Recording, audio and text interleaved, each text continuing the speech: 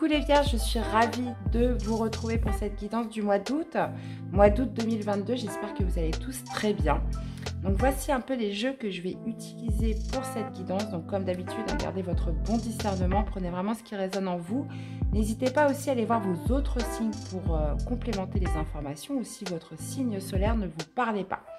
Donc merci d'être là les amis, merci de votre soutien, de votre fidélité à la chaîne, pour tous vos commentaires, tous vos retours. C'est important pour moi de voir un petit peu comment ça résonne en vous. Pour les likes aussi, pour faire progresser la chaîne. Donc voici les jeux que je vais utiliser pour cette guidance. Donc la météo un petit peu du mois avec les portes de l'intuition. Euh, suivi par le tarot psychique et tarot de l'intuition pour détailler les domaines de vie deux cartes supplémentaires avec le tarot des flammes jumelles pour votre parcours individuel amoureux et une carte conseil des rebelles sacrés. Donc voilà les amis, je vous souhaite à tous une très belle guidance, très belle lecture et on se retrouve tout de suite pour votre tirage. Allez les vierges, c'est parti pour votre mois d'août. Allez, mois d'août 2022 pour les vierges, s'il vous plaît, c'est parti. Allez, pour les vierges, mois d'août 2022 qu'est-ce qu'on a, les amis On a la perle. Témoigner de la reconnaissance pour, ce que vous avez dans la vie. Donc, il est question de gratitude et question de reconnaissance. Il est aussi question, euh, voilà, de vous témoigner aussi de l'amour. Et on a la parole. Soyez en permanence bienveillant à votre égard et les autres en feront de même.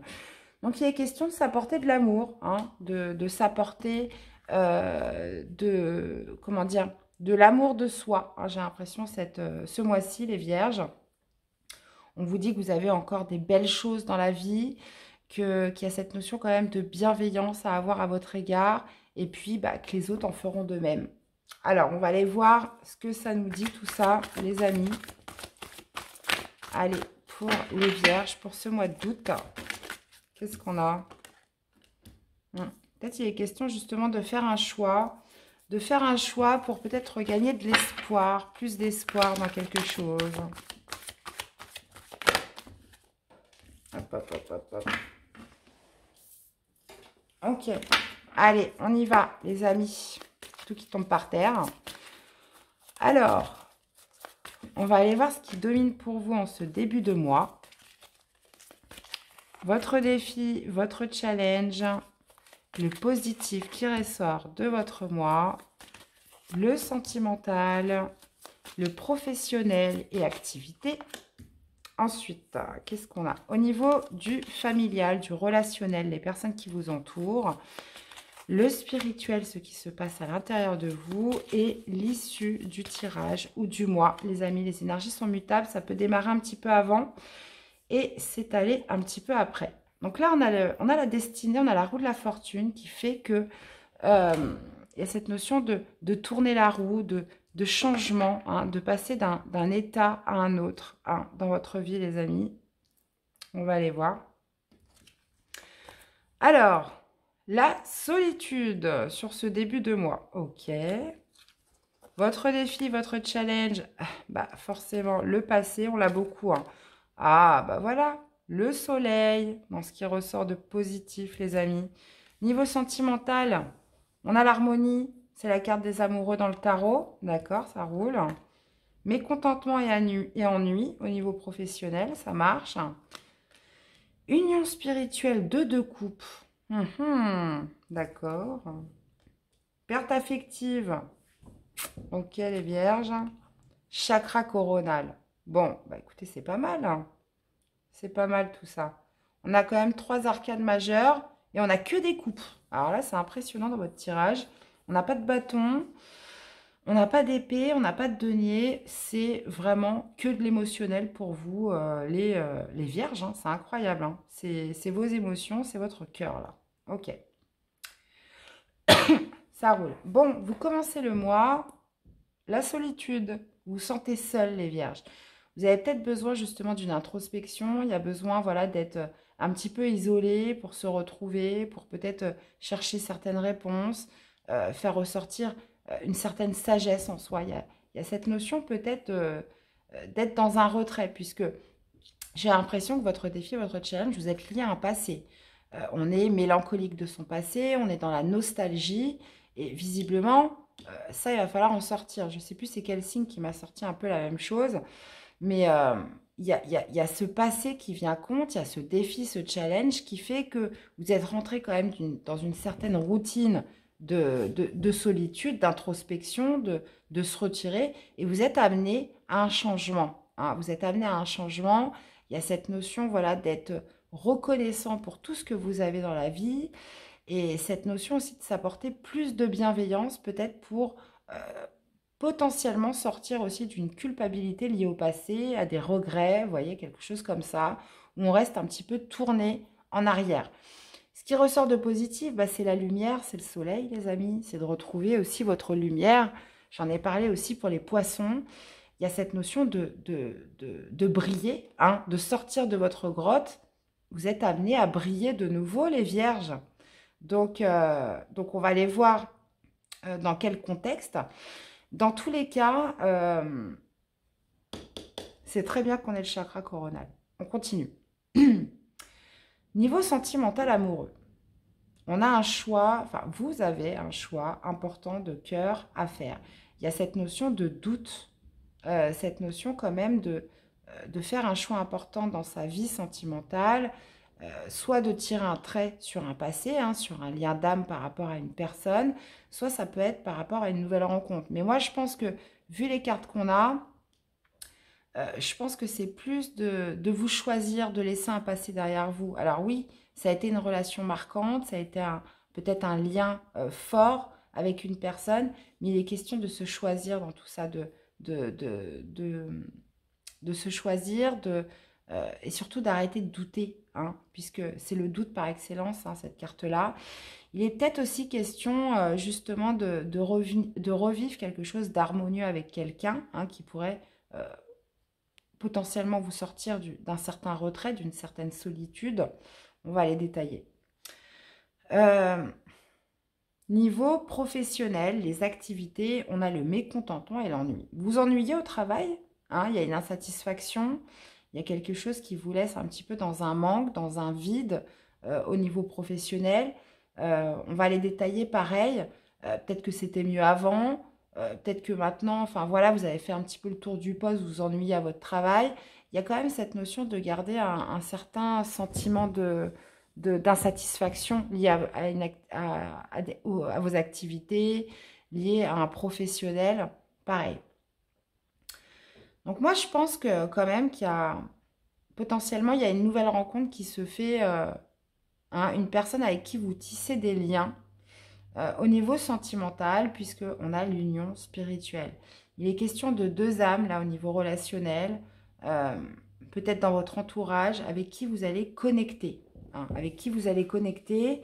Et c'est peut-être pour ça qu'il y a un choix de cœur à faire, il y a peut-être une solitude à laisser, il y a peut-être des souvenirs à, laisser aussi de côté.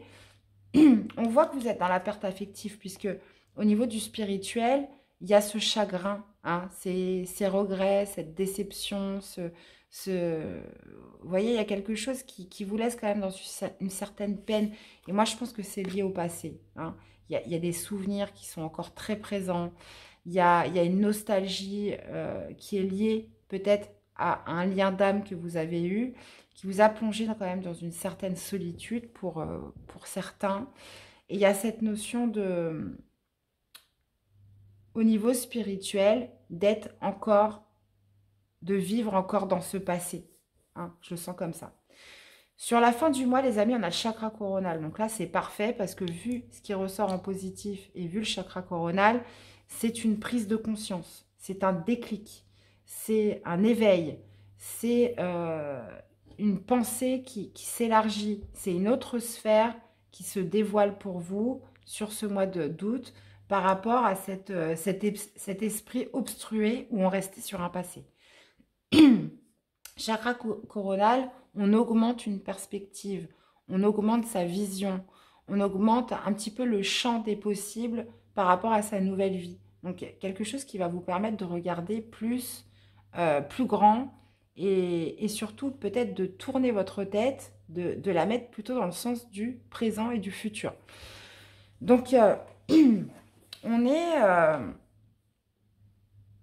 on est potentiellement euh, peut-être sur une nouvelle union que vous allez rencontrer dans votre domaine relationnel.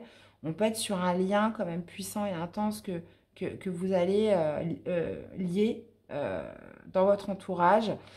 Visiblement, il est question de faire un choix par rapport peut-être potentiellement à ce, lien. on peut être sur un choix aussi par rapport à une nostalgie sur une ancienne relation. Visiblement, ce qui ressort de positif, c'est votre lumière. C'est que vous êtes destinés à briller, les amis, à retrouver une certaine joie de vivre, à retrouver un bonheur hein, euh, sur ce mois d'août. En tout cas, il y a quelque chose qui va vous mettre vraiment très en joie au niveau du relationnel avec une personne. Ça va vous faire du bien. Allez, avec la solitude, qu'est-ce qu'on a pour les vierges? Qu'est-ce qu'on a avec la solitude? Ouais. Hum, hum, hum, on a besoin de, se retirer, on a besoin euh, de gagner en sagesse, de tirer des leçons peut-être aussi, d'aller chercher des réponses en soi euh, pour justement opter pour un nouveau départ. Puisque le mât, c'est le nouveau départ, mais pour prendre ce nouveau départ, il faut s'alléger un petit peu de, euh, du passé, euh, le mât, lui, c'est le fou. Hein. Le fou, on s'en fout. Il est léger, il n'a pas peur, même si c'est pas où il va, même s'il n'y a pas trop de visibilité, il y va quoi. Donc cette notion avec la carte de l'ermite, c'est justement vous êtes dans une introspection pour aller tirer des réponses en vous, une certaine vérité, pour pouvoir acter et prendre ce nouveau départ, les amis. Peut-être que justement vous avez besoin de faire la lumière sur un passé, sur une nostalgie, sur une mélancolie, sur des regrets liés au passé. Il y a besoin peut-être de, justement de d'acter quelque chose avant de se lancer dans quelque chose de nouveau. Alors, qu'est-ce qu'on a avec ces souvenirs d'amour? Ouais. Donc, euh, des souvenirs euh, d'amour, une mélancolie, peut-être euh, on est sur quelque chose, un passé justement qui, vous l'avez vécu potentiellement comme, comme une trahison. On a été sur, voilà, on doit épurer ce sentiment où on s'est senti peut-être trahi sur quelque chose qui a été assez malhonnête, quelque chose de fourbe aussi, de, de. Hein. Et j'ai l'impression qu'il y a ça encore qui est encore très présent dans votre esprit. Hein. Euh, il est peut-être aussi question, justement, avec ce travail de l'ermite d'introspection, de ne pas fuir ce passé, de ne pas fuir. Il y, a, cette notion de faire ressortir une certaine sagesse en soi et de ne pas être dans la fuite de ce passé. Hein. Alors, qu'est-ce qu'on a avec ce qui ressort de positif avec la lumière? La force Bon, bah, retour de vitalité, les amis. Retour de joie, retour de, de bonheur. Hein, euh, d'être plus heureux, de se sentir euh, plus, euh, plus énergique. Avec la force, c'est ça, c'est retrouver un petit peu sa, sa maîtrise, retrouver sa force, retrouver, comment dire, cette détermination, ce courage d'aller de l'avant et de se tourner vers le présent, vers le futur, vers où ce que vous êtes destiné à vivre, hein, les amis. Qu'est-ce qu'on a? La force de relever, de relever des nouveaux défis, de relever des nouveaux challenges. Hein c'est pas fini, les amis, c'est pas fini. C'est jamais fini. Alors, l'harmonie, qu'est-ce qu'on a avec les amoureux?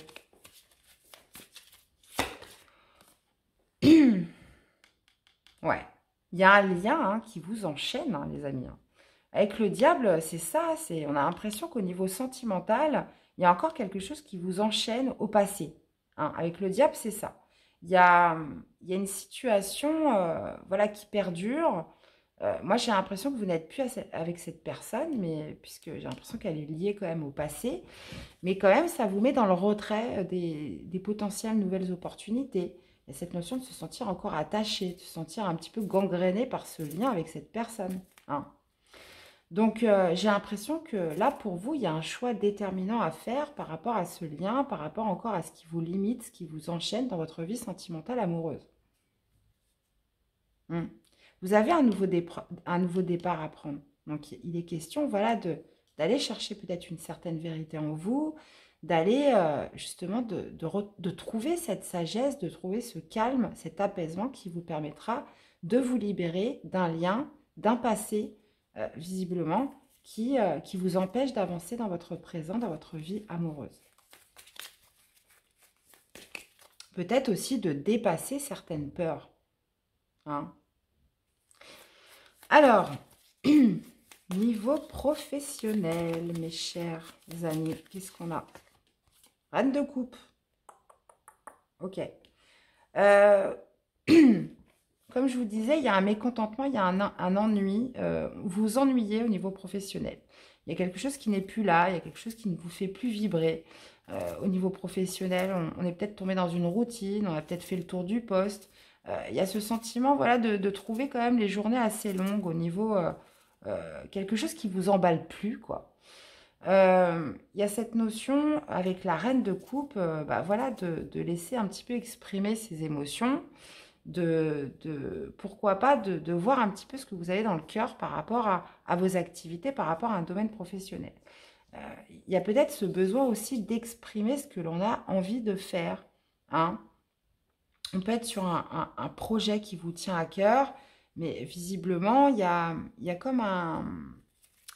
Comment dire vous aviez peut-être tendance à fuir justement ce... À, être un petit peu dans la résilience, de vous dire, bon, bah voilà, c'est comme ça, et puis point barre.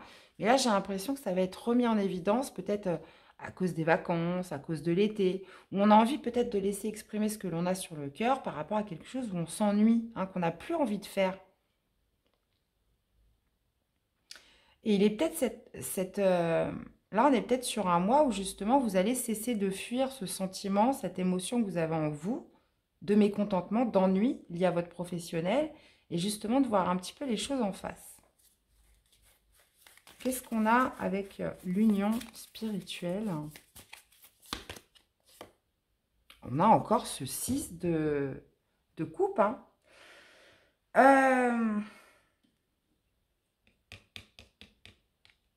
alors, au niveau relationnel, on a encore ce lien du passé qui ressort. On a encore ce lien du passé qui ressort. Donc peut-être euh, euh, on, est sur un ancien partenaire avec qui vous avez des enfants. Euh, c'est peut-être quelqu'un, bah voilà, visiblement là on parle de la famille, on parle de tout ça, du relationnel. Donc c'est peut-être une personne avec qui vous n'êtes plus, mais avec qui vous êtes toujours en lien par rapport aux enfants, etc. Et tout, qui a un contexte familial par rapport à ça. Il y a potentiellement euh, ce, besoin de voilà de, d'avoir cette force, peut-être soit de tourner une page, soit d'acter peut-être euh, une certaine mélancolie liée à ce lien. On peut, on peut être aussi justement sur sur un nouveau lien qui se crée au niveau euh, familial relationnel. Donc, vous l'adaptez par rapport à ce que vous vivez. Vous vivez. On peut être sur les deux cas de figure. Euh, justement, un lien qui fait que euh, vous allez... quelqu'un que vous connaissez déjà, avec qui vous allez pouvoir créer des liens. On peut être sur quelque chose comme ça.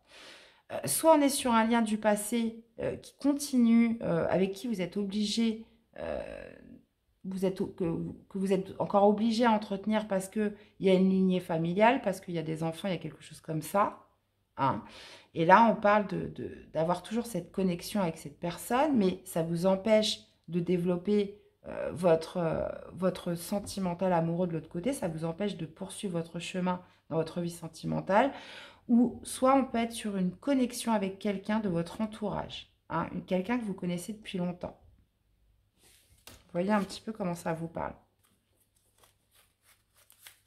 il est question de reprendre, de toute façon, quoi qu'il en soit, il est question d'avoir le contrôle, hein, d'avoir une maîtrise par rapport à ce lien, par rapport à cette relation avec cette personne. Euh, qu'est-ce qu'on a avec la perte affective au niveau du sentimental euh, Du spirituel, pardon. On a la justice. Donc, il est peut-être euh, justement temps de rétablir la balance, les amis, hein, de, se faire justice, d'être sur quelque chose de beaucoup plus équilibré hein, euh, en vous par rapport à cette perte affective, par rapport à ce lien que vous gardez du passé, par rapport à ces regrets, potentiellement une culpabilité, cette personne que vous vivez comme une perte affective, il est question là de réguler un petit peu la balance, hein. de vous faire justice. Il y a aussi cette notion de karma. Hein. Donc, euh, ok les amis. Et qu'est-ce qu'on a avec le chakra coronal? Donc, déclic, prise de conscience, éveil, les amis. Qu'est-ce qu'on a avec ça? Ah, ben voilà, la guérison, tempérance. Et ben voilà, superbe.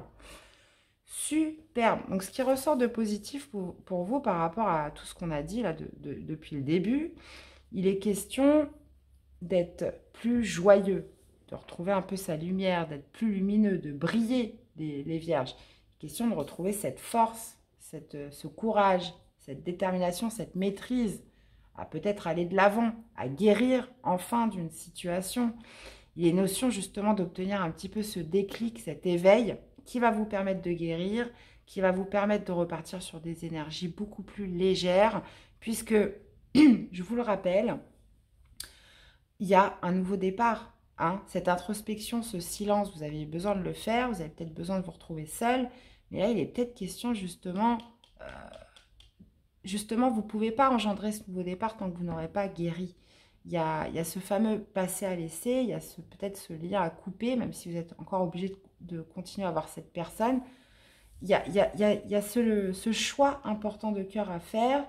Euh, pour justement vous délester de quelque chose qui vous empêche d'aller de l'avant, d'activer la roue pour dans votre vie sentimentale. Il y a encore quelque chose qui vous enchaîne, hein. un lien visiblement quand même fort, on peut parler d'âme sœur, mais question euh, soit potentiellement d'avoir plus de maîtrise, d'avoir plus de contrôle, d'opérer une guérison, de se faire justice pour continuer à aller de l'avant, même si vous n'êtes plus avec cette personne, ou justement d'un lien qui va se tisser dans votre, euh, dans votre, euh, dans votre relationnel, qui va faire que vous allez être amené à faire un choix et à laisser un certain passé. Hein. Puisqu'on là, on voit que niveau spirituel, il y a besoin d'obtenir plus de justice, il y a besoin d'obtenir plus d'équilibre par rapport à une perte, par rapport à un chagrin qui est euh, que vous entretenez d'un passé. Ok. Eh bien, dis donc. En tout cas, euh, prise de conscience, déclic, hein, les amis. Hein. Donc, j'espère que, voilà, pour toutes les personnes qui se reconnaissent dans cette vidéo, euh, dans cette guidance, que j'y aurais peut-être un petit peu contribué, hein, puisque c'est le but des guidances, c'est de vous amener matière à réflexion, c'est de vous amener quelques pistes, quelques clés dans votre parcours par rapport à ce que vous vivez. Visiblement, il y a cet éveil, vraiment, qui va vous permettre de voir beaucoup plus grand, d'une manière beaucoup plus globale pour il y, a une vitalité à retrouver, il y a une joie à retrouver, les, amis. Ok. Alors, deux cartes pour l'amour, parcours pardon, individuel, amoureux, que vous soyez en couple ou célibataire. Ok, bon, ça tombe par terre comme d'habitude. Qu'est-ce qu'on a les amis? Eh ben voilà, Lâcher prise, impeccable. Mission divine. Changement. Bon, bah voilà. Hein. Ça reprend un petit peu. Donc là, c'est votre parcours individuel amoureux. Peu importe que vous soyez en couple ou célibataire, euh, là, on procède à un lâcher prise cette, euh, ce mois-ci, puisque vous êtes appelé par une mission divine. Vous êtes appelé par votre destin à opérer un changement. Là, il y a un cap à passer il y a, cette notion voilà, de lâcher un certain contrôle. Et moi, je pense que c'est lié à votre passé. Et justement, c'est ce que va faire un peu ce travail de l'ermite ce mois-ci pour vous aider à, justement à reprendre le dessus sur tout ça et à retrouver une belle lumière. Il y a cette notion de parcours, de mission divine pour lequel vous êtes appelé. Et justement, c'est ce déclic, c'est cet éveil de conscience, conscience pardon, qui va vous amener ce changement. Vous voyez, on est sur le destin, on est sur les 10. 10, ça me parle de fin de cycle.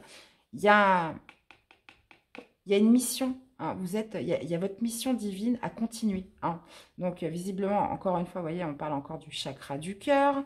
Donc, vous êtes amené à, à, changer les choses, à opérer un changement. Et ça va passer par un éveil de conscience, ça va passer par un déclic. D'accord mais il va falloir opérer un lâcher prise hein, par rapport à ce passé, par rapport à ce lien, les amis. Donc, euh, donc, donc, euh, bah voilà. Hein, euh, Très très beau tirage, les vierges. Allez, une carte conseil. Attendez, qu'est-ce qu'on avait en dos? Accueillir. En fait, cette perte, ce, chagrin, cette nostalgie du passé, ce, lien que vous entretenez, il va falloir en fait accueillir. Il n'y a, pas le choix en fait. Hein Qu'est-ce qu'on peut faire d'autre? Accueillir ce qui s'est passé pour justement vous ouvrir au changement et à quelque chose de nouveau. Et c'est ça le lâcher prise en fait. Ce travail de l'ermite, il va vous permettre d'accueillir et d'être dans une certaine forme d'acceptation de ce qui se passe. Bon. Allez, carte conseil pour les vierges. Conseil, les amis. À contre-courant. Sortez des clous, les amis. Sortez des clous.